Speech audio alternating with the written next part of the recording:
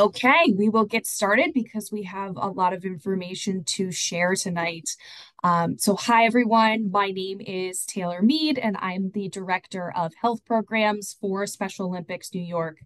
Really excited to have everyone join us tonight. Um, you know, I know that this topic was uh, was something that has been popular with a lot of our partners and a lot of our families over the past couple of months as we've continued to host these forum offerings. Um, and just a little bit of background the virtual health and wellness forums are an offering that is open not only to those involved with the Special Olympics community, but those that have intellectual disabilities or support people with intellectual disabilities. Uh, so we look to bring really important topics regarding health and wellness to light and uh, be a resource for people to be able to learn about those topics. Um, just two quick housekeeping items. Uh, we ask that um, until the end of the presentation, when we do have a question and answer section, uh, that you wait and hold your questions. You'll be able to submit them in the chat or come off mute and ask your question. Um, and then we will also provide a link to a uh, form. If you are not comfortable asking your question on the live offering, then we'll be able to, to take on that question or any feedback that you have after the presentation is over and get back to you there. So without further ado, I am going to introduce our speaker tonight. So we are very lucky to have Laura Robinson join us. And Laura has over 30 years of experience in the field of intellectual and developmental disabilities. She has a background that includes direct care, staff training, program development, regulatory oversight and compliance, qualitative and quantitative research, and program evaluation. She has been a NTG regional affiliated trainer since 2014 and participates on the geriatric assessment clinic team at the Finger Lakes Developmental Disability Service Office in Rochester, New York. Laura joined the University of Rochester Medical Center in 2004 and is currently the program coordinator for the Finger Lakes Geriatric Education Center a HRSA funded GWEP in the Division of Geriatrics and Aging in Department of Medicine. She is also a part-time doctoral student in human development at the Warner School. Her doctoral studies will investigate redefining intelligence for older adults with IDD. So Laura, I'm going to pass it off to you. Awesome. Thank you so much, Taylor. Thank you everyone for being here tonight, especially during dinner time. I appreciate that. So just to um, let you know who I am before we begin, I'm a Caucasian white female in her 50s with blue eyes, brown hair. I'm wearing a white Special Olympic sweatshirt. So yay, be brave. My background is my dining room wall as my dining room has been my home office since COVID. So I'm super happy to be here with you tonight to talk about dementia. One disclaimer I am not a doctor, I am not a nurse, but I work with a lot of them in geriatrics. And sometimes I can use medical terms that might be complicated. I'm going to try really hard not to do this. So please let me know when I use words that make no sense to you, and I will find a different way to say them. And I do plan to leave plenty of time at the end for questions. So with that, we will begin. We're going to talk about what dementia is and what do we do about it. So I have no disclosures. I want you to know that no one no pharmaceutical companies, no medical um, equipment companies have paid me for my opinion. My opinion is my own. And here are what we gonna here's what we're going to talk about tonight, the learning objectives. So we're going to define dementia. We're going to describe signs and symptoms of the different types of dementia. Then we're going to list ways to prevent dementia because as of yet, there is no cure. So we really want to work on preventing dementia. And then how do we support people when they do have dementia? What do we do? So let's start right off the bat with what is dementia? So we all know that everybody is living longer. We're getting older. One of the conditions that happens more often as we get older is called dementia. And if you remember nothing else that I tell you tonight, please remember that dementia is not part of typical aging. Not everybody is going to get dementia. Dementia happens from a variety of reasons, but it is mm-hmm. not part of your typical aging. So dementia is a term kind of like an umbrella. And there's lots of different types of dementia under that umbrella. So you'll see in the picture, Alzheimer's is the most common form of dementia. There's also something called vascular dementia that happens when we have a stroke or a blood clot. There's Lewy body dementia. There's so there's these little bodies called Lewy bodies that we can find through a blood te- or a test of your cerebrospinal fluid, and then frontotemporal dementia. And there's several other kinds too, but these are the main ones. So dementia really is just a collection of symptoms that impact the brain, and they in and it, they interfere with everyday life. Alzheimer's disease, like I said, is the most common. So we're going to spend the most time talking about that one and some changes in our thinking and behavior are reversible and not truly dementia. So we're going to talk about something called a differential diagnosis. So what to look for and what to ask for when you go to the doctor, because not every change that we go through as we get older is really dementia. And again, because it's super important, dementia is not part of normal aging or typical aging, okay? So what does dementia impact? So there's three main areas that dementia impacts, and our brain has a lot of jobs. So think about the brain handling how we think, how we move, how we process information, the information we get from our senses. So how we taste, how we smell, how we touch, and our brain tells us what to do with that information. It also tells us how to behave at home or at work and when not to cause trouble and things like that. So our brain is the core of who we are. And dementia impacts different parts of the brain depending on what kind we have. And then dementia slowly changes how we think, how we function, and how we behave. So some of the areas affected by dementia are on the slide. So one of the big ones that we often think about is memory, especially short-term memory, like not remembering what I had for lunch, not remembering where I put my keys, or not remembering people's names. There's also language skills. Sometimes we forget words, like in the middle of a sentence. I don't remember what I was going to say. Or we see something that we use all the time, like a water bottle, but, but I can't remember what the water bottle is. So language skills can be Im impacted. There's also focusing and the ability to pay attention. Maybe nothing keeps our interest anymore. There's reasoning and judgment.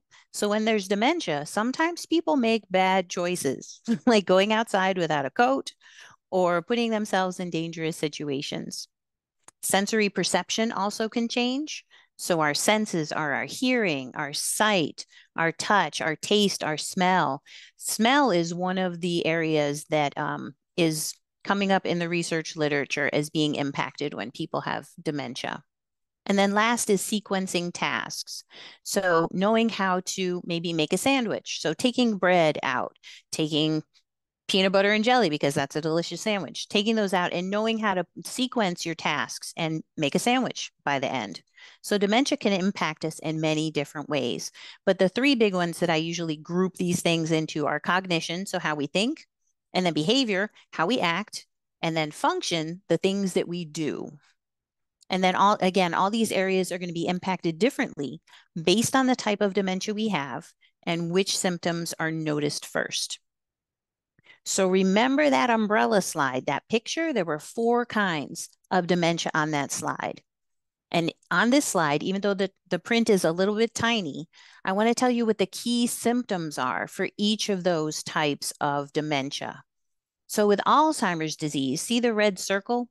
I think I can have a, no, I don't have a thingy to point. Do I have a pointer?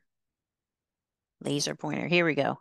Okay. So see this red circle that goes around the, the uh, symptom? So under Alzheimer's disease, it mostly impacts, and these are the things that you're going to see first. So memory, our visual spatial ability. So a lot of times we see people that um, don't have good depth perception or lose their depth depth perception, and you'll see them hesitate maybe at a transition in a room where the flooring is different in one room going to another.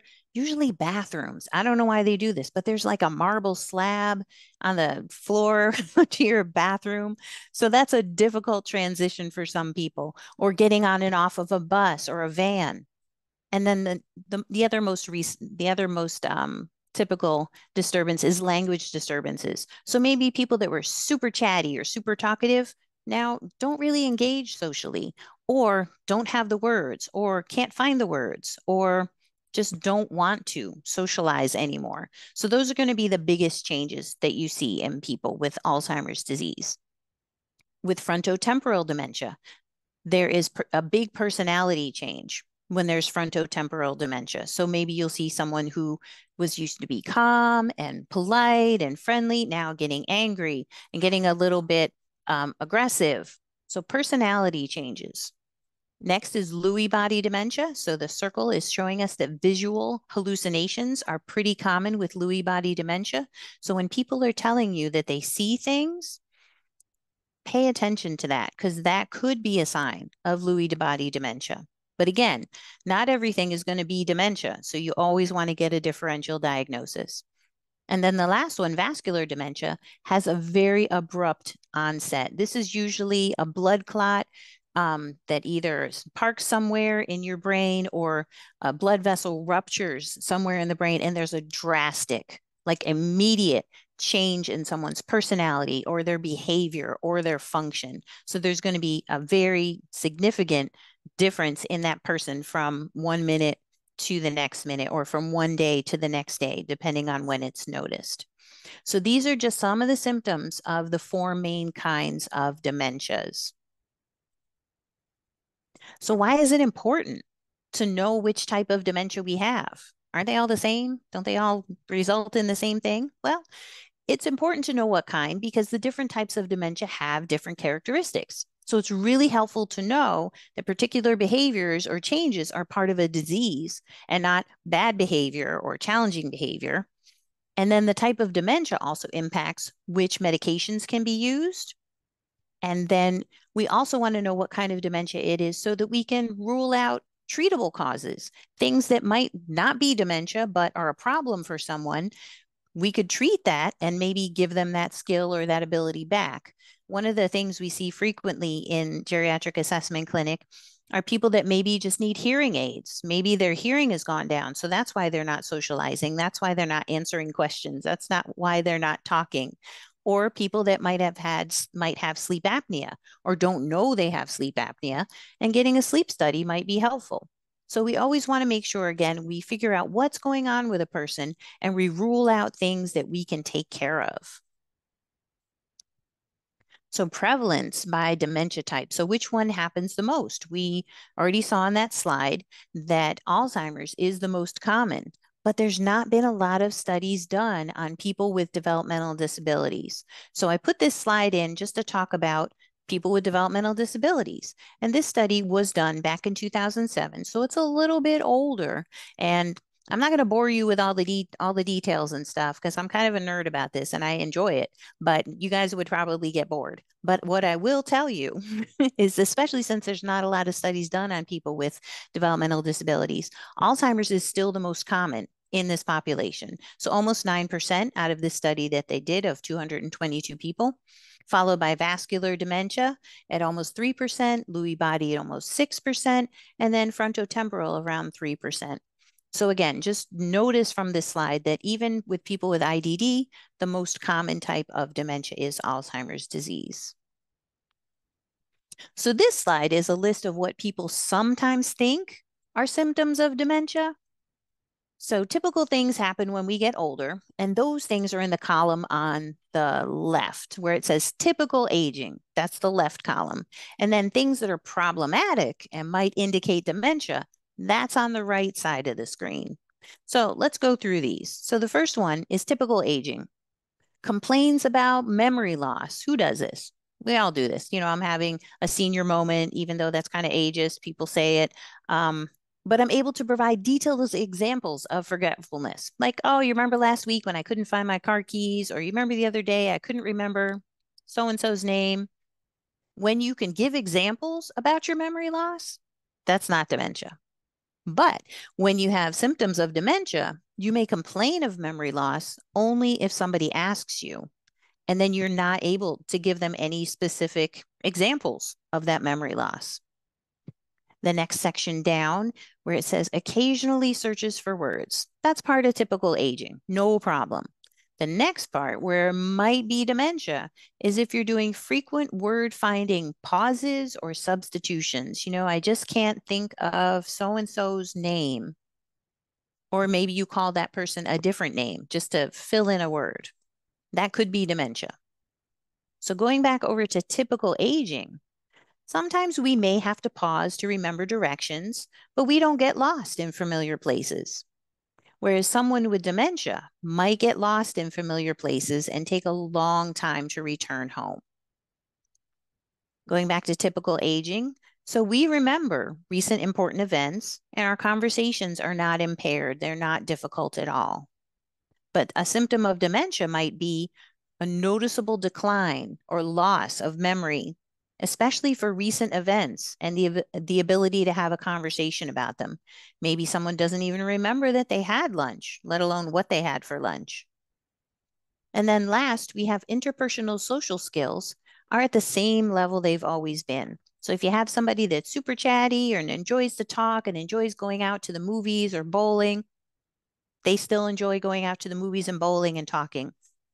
However, when it might be dementia, you might have a loss of interest in social activities, or somebody might start behaving in an inappropriate or challenging way. So, those are some of the ways that we can kind of tease out whether something is dementia or a part of typical aging. So, let's talk about the most common form of dementia, Alzheimer's disease, because I think this is where we'll get a lot of questions. So this slide comes from the 2024 Dementia Facts and Figures put out by the Alzheimer's Association, and Taylor is going to put a link to that in the chat. I believe she's also going to send it out to you later. It's a huge document.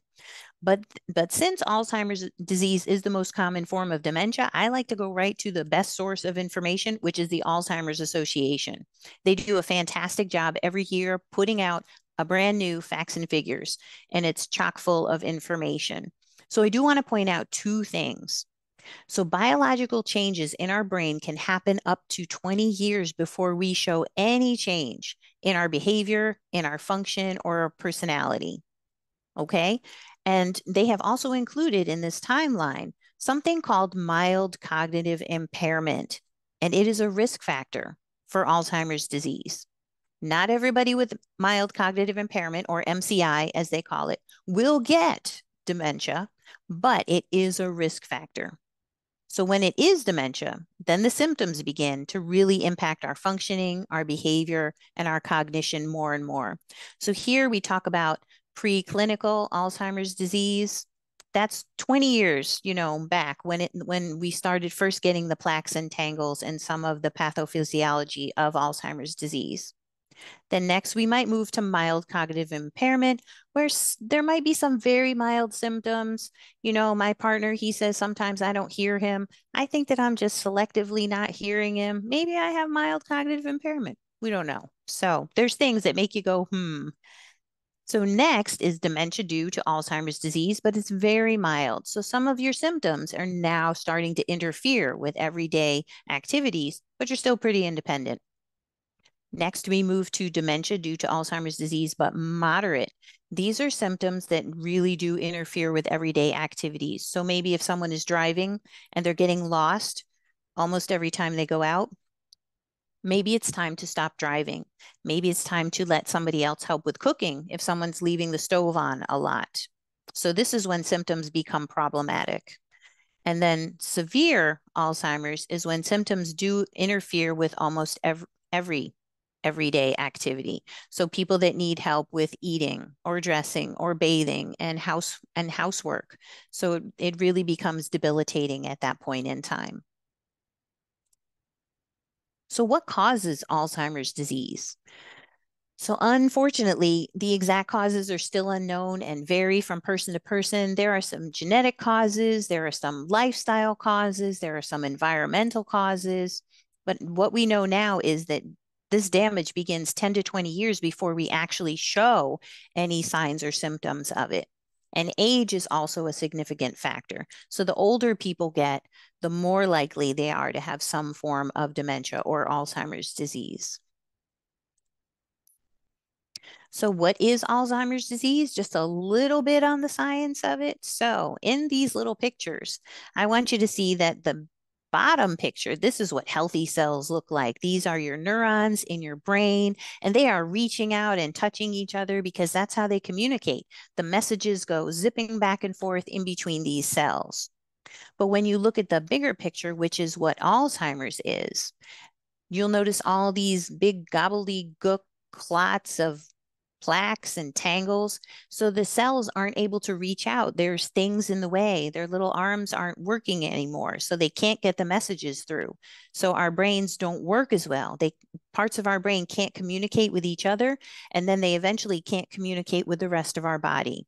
So that's what Alzheimer's does is these big globs of amyloid beta protein and some of the tau tangles get in the way of the neurons in our brain and they actually kill these cells so that over time, our brain becomes about 30% smaller by the time of death. And some medication can help in the early stages of Alzheimer's, but generally there's nothing that's going to cure it and there's nothing really that's going to stop these these plaques and tangles from from accumulating yet. We're still looking for a cure. So, in the early stages of Alzheimer's disease, so here are some of the things that you might see memory problems are reported. Um, common problems are managing finances. Who has fun with money? Like, money is hard. It is hard to manage finances, even without Alzheimer's disease. But if there's difficulty where there's never been difficulty before, that's probably something to get checked out. Household chores become difficult, shopping, cooking. So, some of your instrumental activities of daily living really become difficult in the early stages. A lot of people kind of chalk these changes up to typical aging.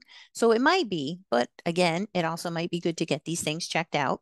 And then short term memory is mostly affected. And then your long term memory, so things that you did as a child or in high school or back in the day, those things remain intact. So Alzheimer's symptoms in the middle stages, this is where you're going to start to see some personality change. You're going to start to see some behavior change. Some people become very impulsive. This is where you'll see a person who was usually really nice, maybe jokes around, maybe becoming a little agitated. The filter is gone. You might see some new sexual behaviors. You might see some anger. You might see some hoarding. You might see people that just don't care anymore, just not interested in things at all. And then poor judgment, insight, and problem solving also come up then too. And in the later stages, so you're going to have the loss of ability to perform activities of daily living. So you're bathing, you're grooming, you're dressing, and even feeding. People just aren't interested in eating or may not know how to feed themselves. And their moods might get agitated or restless. And this is where you'll see a lot of wandering as well. It's uh it's believed that people kind of get lost in space and time and don't really have an anchor holding them down. So might just be looking for something always, just not knowing what they're looking for, but that need to walk. And if you can, definitely encourage that and walk with people. So, how do we diagnose dementia? We know what it is now and who might be at risk, but how do we know who has it? So usually we go to a physician, usually a neurologist or a geriatrician, and sometimes your primary care physician might be able to diagnose dementia.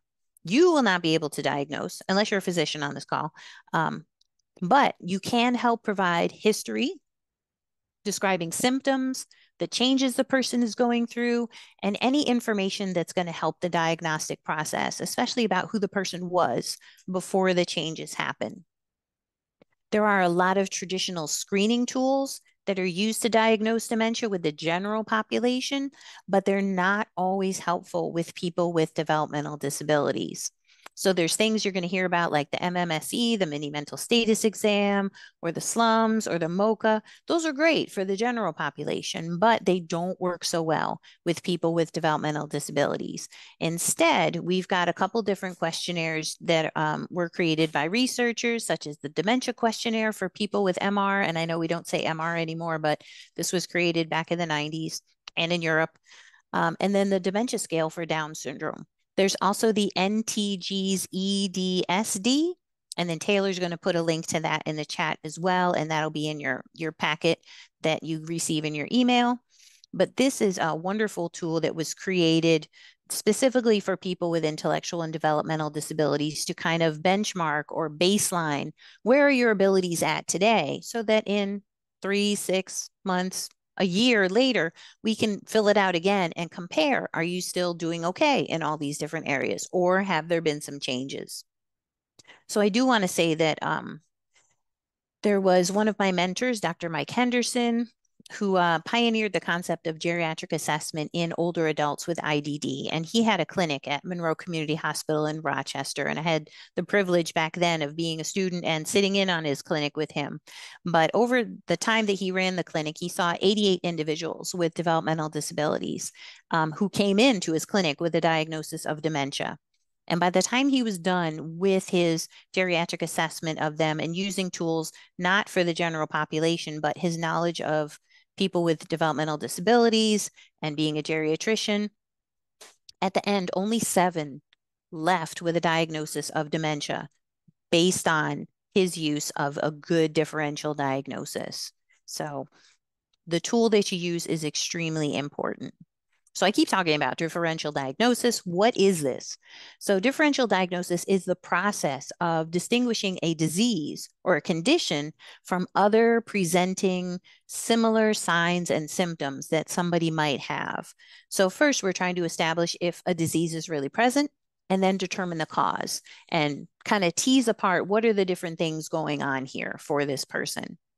And the whole goal of it is to rule out treatable conditions hopefully have the person receive appropriate treatment and support services if they're available, and then to maintain the highest possible quality of life and functioning for people. As we get older, we all become more of the person of who we are as we age.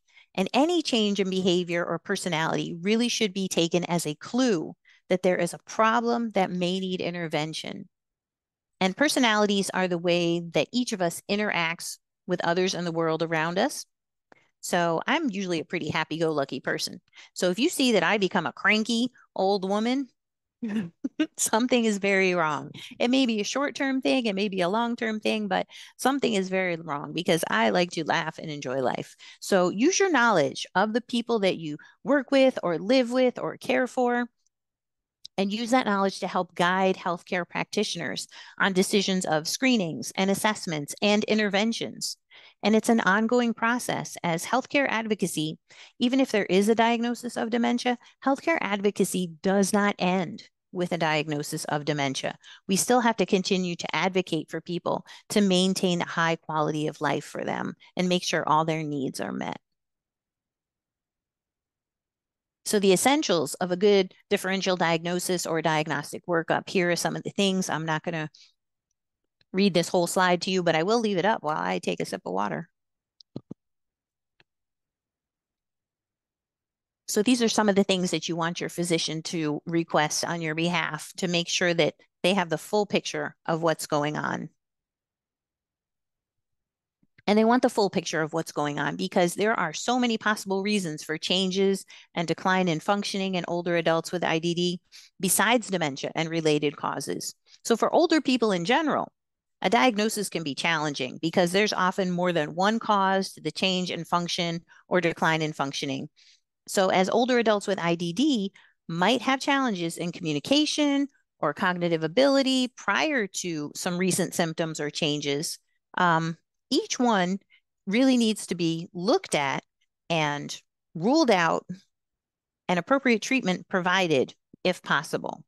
Because the complexity of diagnosis and the risk for diagnostic overshadowing, which let me explain that to you as well, in adults with IDD is overwhelming because not a lot of physicians or healthcare providers are trained in people with developmental disabilities. You all know that once we find a good doctor or a good nurse practitioner or a good physician assistant with IDD, we're like, yes, we finally found somebody that understands. So not everybody out there is like that. So diagnostic overshadowing happens, and this can can be from anyone when a physician or a healthcare provider treating you is just like dismissing your symptoms and saying, oh, well, that's because of your developmental disability. Or, well, that's because you're getting older. those aren't acceptable answers. So health advocacy continues. We can't we can't accept those answers. We have to say, no, no, I'd like you to look into it and go back to that other slide. I'd like you to look into it with some of these things and tell me and make sure. My favorite is um, you know, I I had I had hurt my shoulder and I went to my doctor and I said, Hey, you know, I hurt my shoulder, blah, blah, blah oh, it might be age. You know, you're you're getting up there. And I was like, wait, but but this shoulder's okay. this shoulder's the same age. So no, don't accept those kinds of answers. Okay. So advocate. Advocacy just needs to continue. All right. So these are some of the conditions on this slide that might be that might look like dementia, but are not dementia. So if someone has a stroke, side effects of medications, polypharmacy. Who's heard that big word, polypharmacy? It just means people end up, as we get older, we take more and more medications. So once we take more and more medications, now we're getting medications for the side effects of the medications, and that leads to more medications. So we have to kind of tease apart which of these medications are really, really essential for us because the side effects of medications can mess up our cognition, our behavior, and our functioning. Nutritional deficits and imbalances. How's our diet? And I don't mean we're on a diet. I mean, what are we eating? Are we eating good things like fruits and vegetables and getting our protein in and carbs and staying away from super processed foods? I will let you have that discussion on your own. Alcohol and drug abuse, we know these are not good for us, but they can cause cognitive difficulties. Hypothyroidism, so when your thyroid is not working right, we, we lose energy, we don't feel right, we can't think straight. Dehydration, who's getting in their water every day. Same thing with nutrition. We need certain things to keep our body functioning well. If we have comorbidities or we have medical conditions that are going on, like cardiovascular disease, that can cause a lot of difficulties and that co- could cause some symptoms that mimic dementia. There are environmental challenges that we all face as well. There could be toxins or pollutants in the environment. It for me, it's spring right now, and, and all the pollen in the air really just makes me sneezy and sleepy. That could that could mimic dementia. Sensory impairments always mimic dementia. So I already talked about hearing impairments, but if there's visual impairments as well, people who losing their vision from macular degeneration or glaucoma or a number of other conditions might be more secure just staying put and not interacting and not doing the things that they used to do. So check all the senses. Depression can also mimic dementia because, again, that loss of interest in doing things and not wanting to be around people. Lyme disease is very complex and can impact multiple systems in our bodies at, at the time. Uh, normal pressure hydrocephalus. So I know some people are born with this, some people acquire it later in life, but the pressure on your brain can ca cause changes in your brain, which can cause changes in cognition and function and behavior. And then last but not least, and I've seen this several times, people that need a referral for a sleep study to determine whether or not they have sleep apnea. Because think about the days that you wake up and you have not slept good the night before. Are you the same? Is there a likelihood that you might be a little crankier? Yes, that's me. And that you might need a little more coffee? Yes, that's also me. And you might just want to go back to bed and not want to deal with people. And yes, also me sometimes. Not today. So Let's talk for a minute about Down syndrome. There is an increased risk of Alzheimer's disease for people with Down syndrome. It is not 100%. So I asked you to remember one thing, if you remember nothing else from this training, is that Alzheimer's disease or dementia is not guaranteed as we get older. The second thing I want you to remember is that not all people with Down syndrome will develop Alzheimer's disease. Is there a greater risk? Absolutely. Now, I know a lot of you in this audience probably already know what Down syndrome is, and that's fantastic. But just a little bit of background is Down syndrome is caused by a genetic abnormality. It's an extra full or partial copy of chromosome 21. That's why it's called trisomy 21. So, this extra copy of genetic material actually alters the course of development and causes the characteristics that we know as Down syndrome. And many people with Down syndrome age prematurely with signs of aging beginning in their 30s. So we might start seeing some wrinkles, we might start seeing some gray hair. And also, um, adults with Down syndrome are at risk for diseases in later life up to about 20 years earlier than the general population. And this includes dementia. So, with people with Down syndrome, they have earlier onset of dementia or Alzheimer's disease than the general population. So, usually they'll start showing signs in their 40s. Management is usually similar to the general population. However, the time frame for Alzheimer's disease is a much shorter course in people with Down syndrome. So they so usually Alzheimer's starts out with with some plaques in the brain from the amyloid beta protein, getting kind of gunky and making those little uh, um, plaques in the brain, but then also there's something called tau tangles, which in the general population usually occur a little bit later in the progression of the disease. However, with people with Down syndrome, you're going to start getting those plaques and tangles at the same time, which means your brain is going to have a lot harder time communicating and having those little neurons stretching out and touching each other and being able to send messages is going to get a lot harder.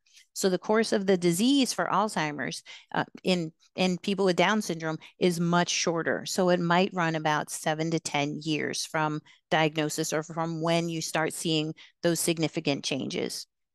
There is no strong evidence that Alzheimer's drugs benefit. I do have a slide on medications coming up. Um, just remember, depression and thyroid disease can mimic dementia, and there's a higher prevalence of, or it's more common to have Hashimoto's um, Hashimoto's disease in people with Down syndrome. So thyroid should really get checked out. Normal age associated deficits are common in people with Down syndrome. However, you might see some more uh, hearing loss and vision loss and behavior changes in this population.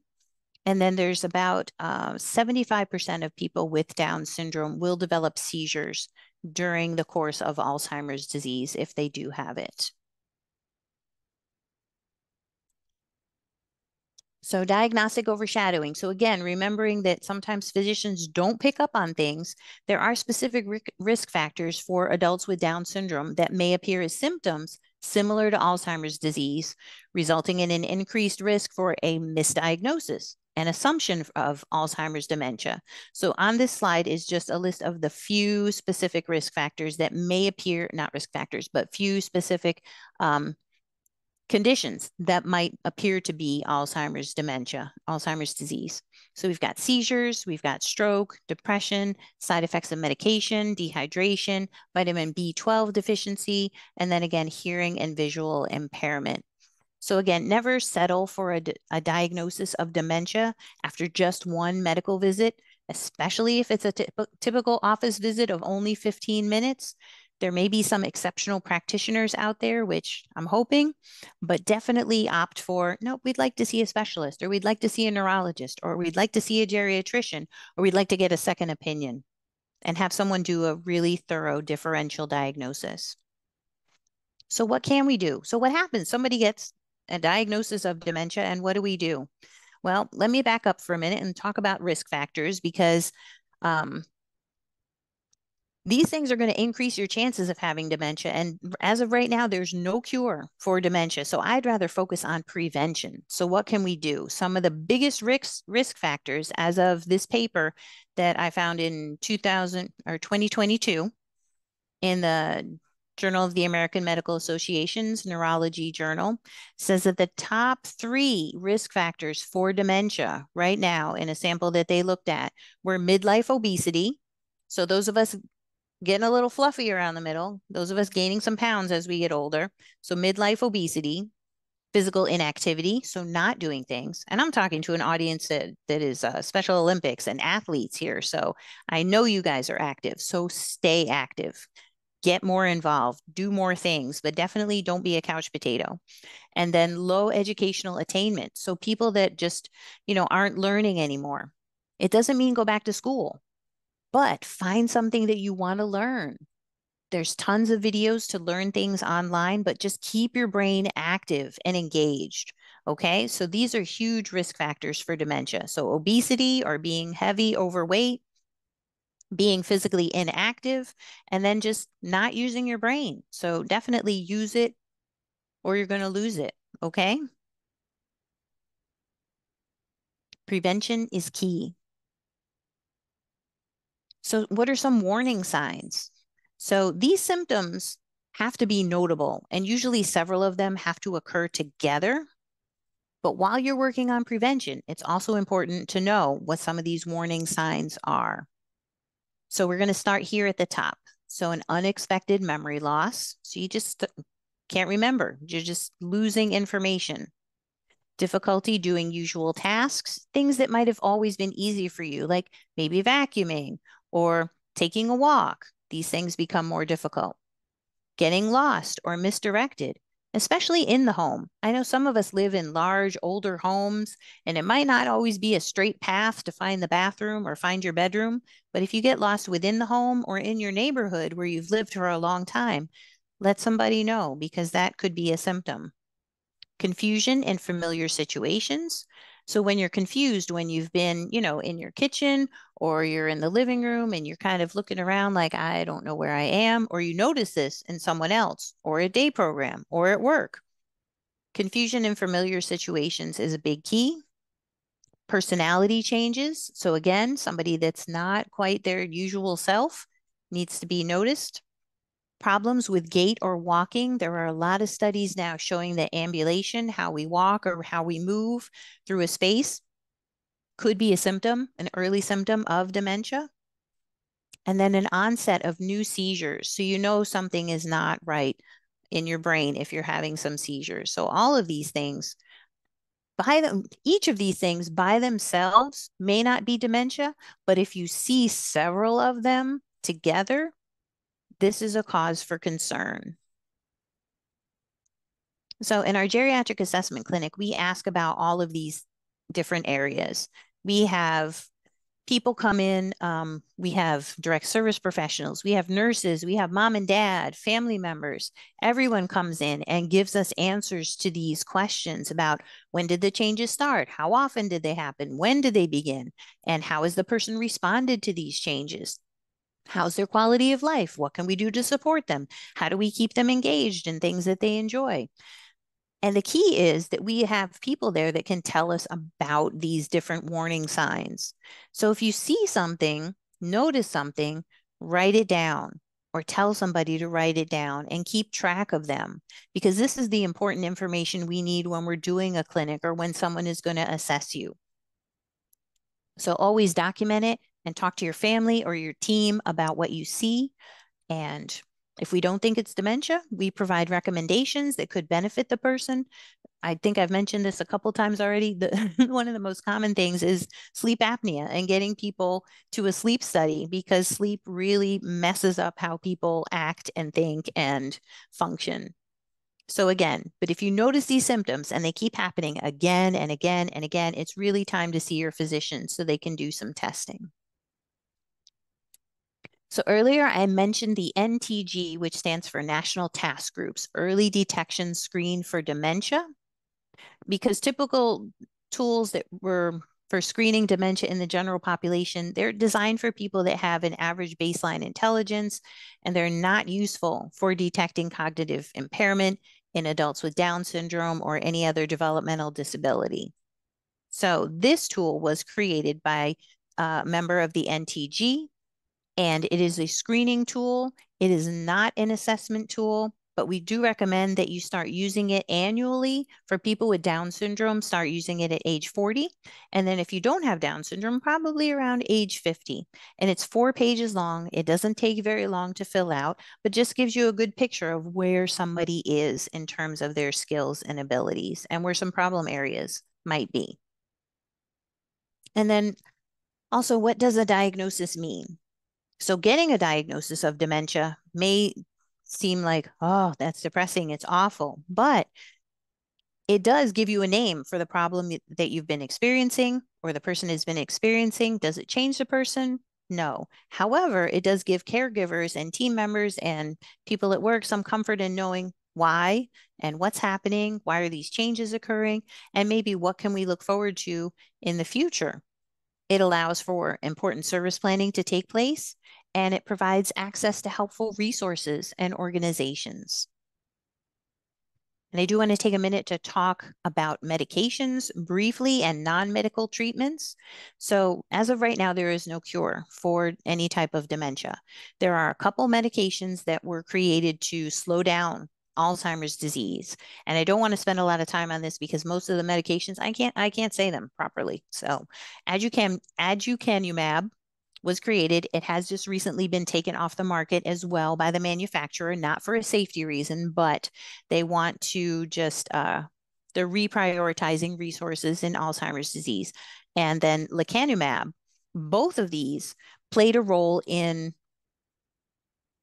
stopping or preventing the protofibrils that lead that lead or part are part of the um, amyloid beta plaques in the brain.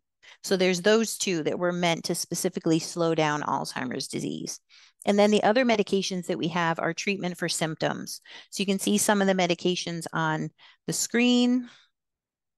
Um, donepezil is uh, for thinking of it, ability.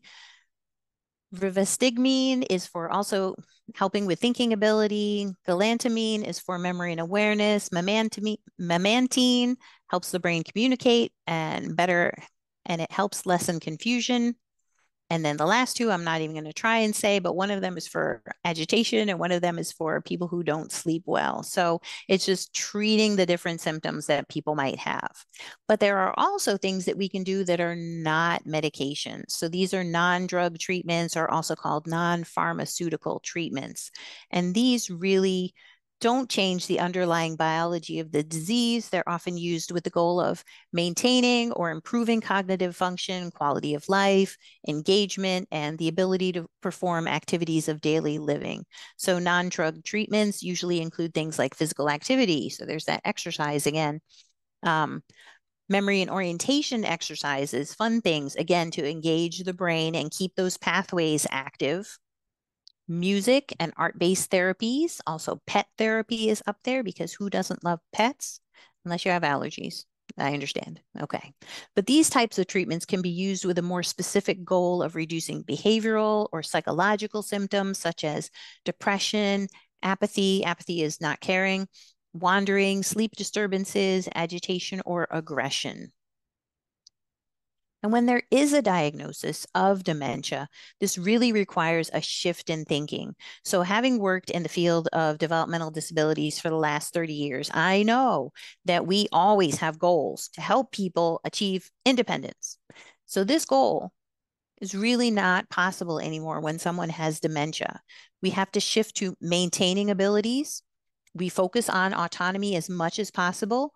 Um, Sometimes just know that having too many choices can be overwhelming or upsetting for people.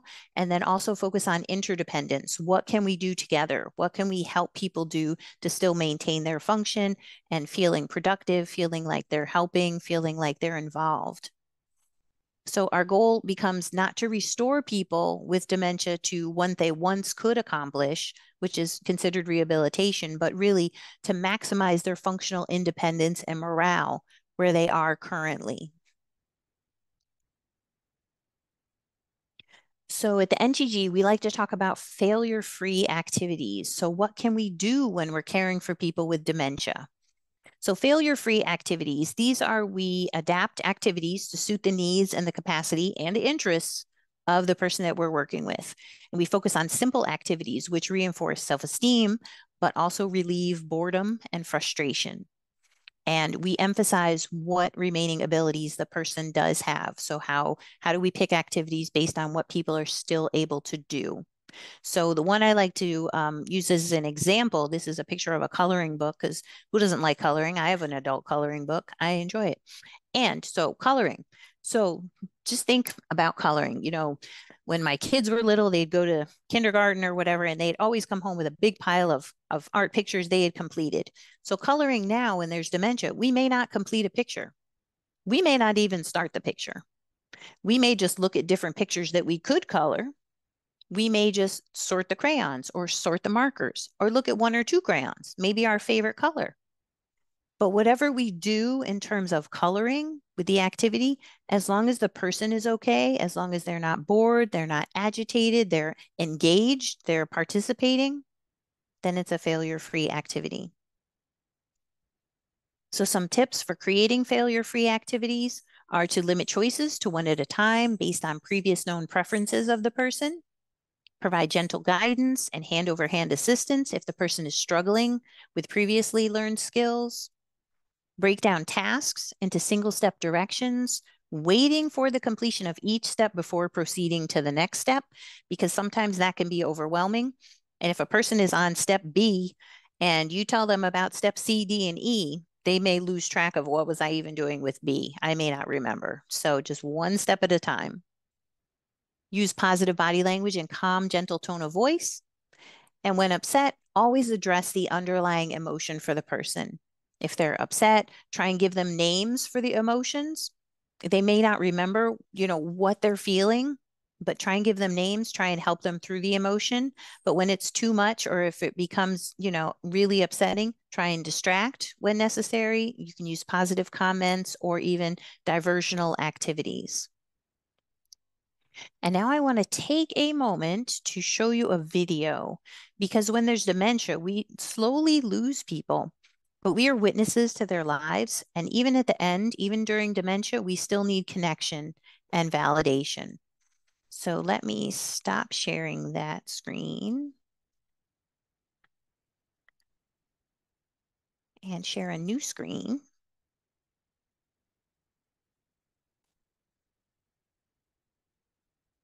Hopefully you can see that.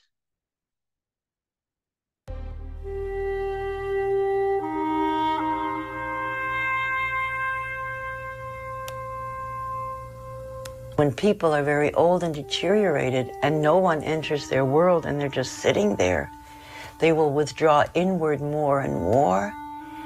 And their desperate need for, for connection is all now inside.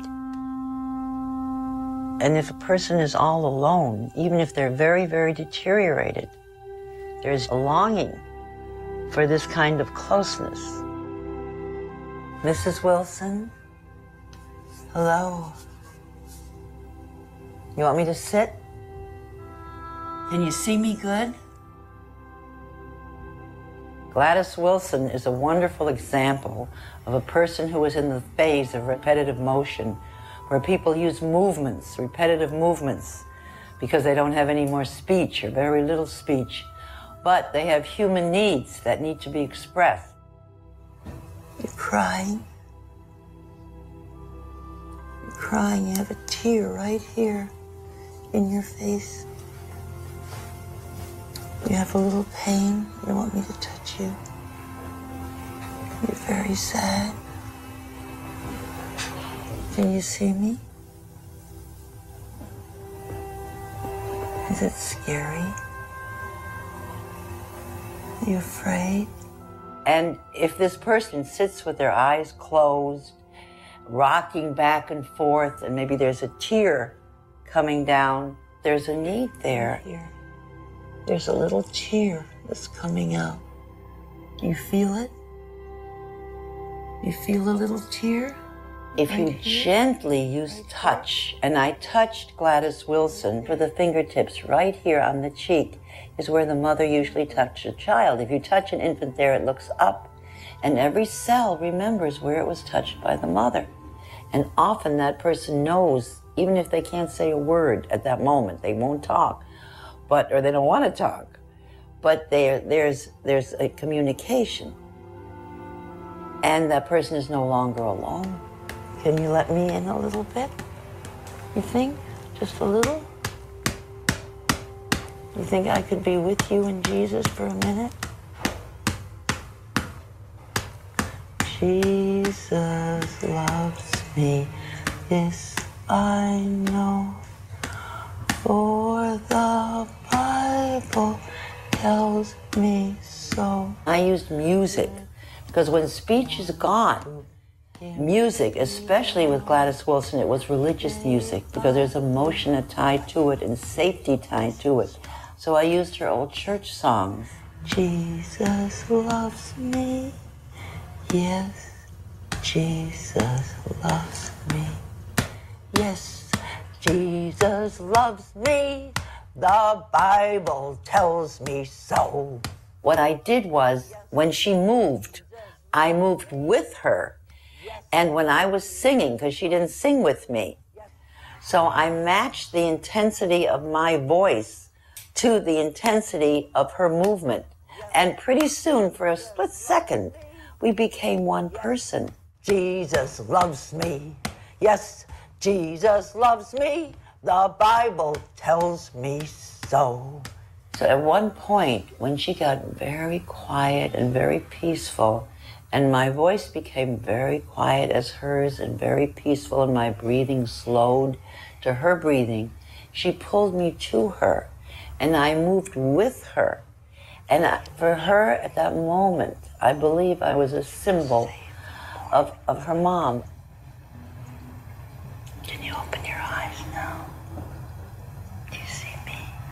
Feel safe and warm? Yes? Can you sing with me? He's got the whole world in his hands. He's got the whole world in his hands. He's got the whole world in his hand. He's got the whole world in his hand. He's got the mothers and the fathers. He's got the mothers and the fathers in his hand. He's got the mothers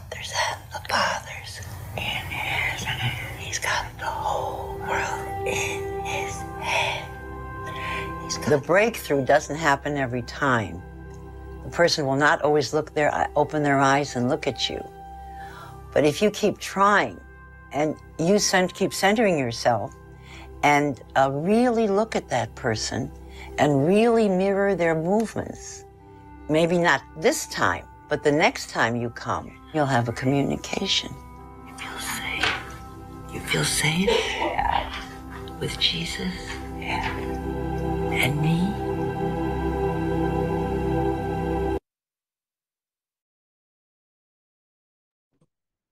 All right, so I hope you enjoyed that, but let me go back to the slides.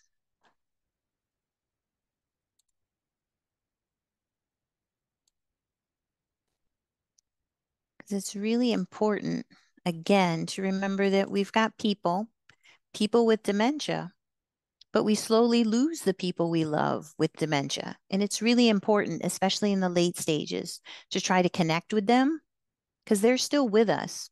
Even if we can't see that communication, even if they can't communicate with us, they need communication. They need love. They need reassurance. They need connection. So they are still there waiting and hoping to be seen and loved, even in their final days. So, with that, I have plenty of time for questions. I think, Taylor. Yes, absolutely. So it is completely up to folks if they would like to um, ask the question in the chat or if they would like to come off of mute. I see that Teresa has her hand raised. Um, so Teresa, feel free to come off of mute to ask your question. Thank you so much. And I'm sorry about the background noise my house. Um, I have a question regarding hearing loss and dementia. Um, what's how is that? What's that exactly about? Because I heard that if you have hearing loss in your older years, that you should seek out getting hearing aids because you can prevent further issues. I'll I'll take myself onto mute and I'll let you explain. Okay. I'm not sure if getting hearing aids prevents dementia. I think there are two different systems that are going on. However, I think the benefit of hearing aids comes from maintaining social connection with other people. When people lose their hearing, they become isolated. They are not able to interact even when there are people around because they can't hear. Um, and so I would think that the hearing aids really just maintain that ability to socialize and connect with other people. And there's so many benefits to being social and engaged with other people that that may offset some of the risk for dementia.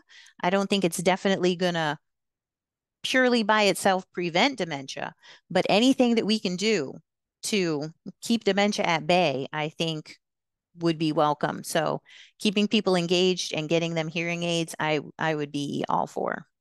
What about um, this new? It's not new. It's a vitamin regarding your nerve endings. It's advertised on TV all the time about as you age, uh, this is good for your brain and you're thinking. What about that? Can you speak on that? So I see the the commercials like things like Prevagen, um, and I think there's another one that I can't remember, but um, I don't have any research data on those, so I don't feel comfortable speaking or advocating either way.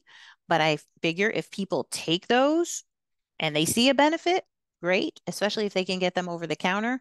But I am all for prevention. So the things that we can do now with good nutrition, good activity, staying socially connected, using our brains, I, I definitely think any of that is good for preventing dementia. But good questions. Thank you, Teresa. Thank you for answering. Thank you so much. Enjoying this. Any other questions that you might want to ask Laura tonight? I see another hand. Vicky, go for it. Hello. So Hi, I'm hi.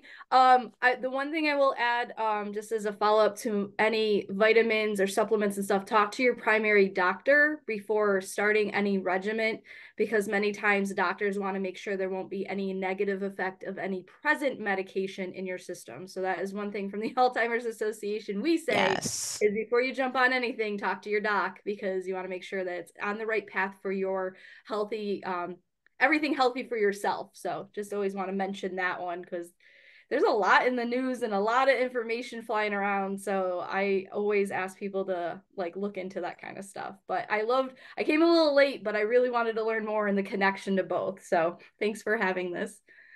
Thanks, Vicky. I love the Alzheimer's Association. Yay. Awesome. Well, I did put in the chat the link to our Microsoft Forms. Um, so that is an opportunity for folks that maybe aren't comfortable asking a question right now, um, or if you think of a question later on and want to submit that question, you are more than welcome to utilize that link. We also would love to, to have any feedback that folks have regarding uh, tonight's presentation or any topics that you're interested in hearing about, um, you know, for, for future forums uh, we'd love to make sure that we're, we're really focusing on topics that people are interested in and want to learn more about. Um, so I'll give one last call for any questions that folks may have.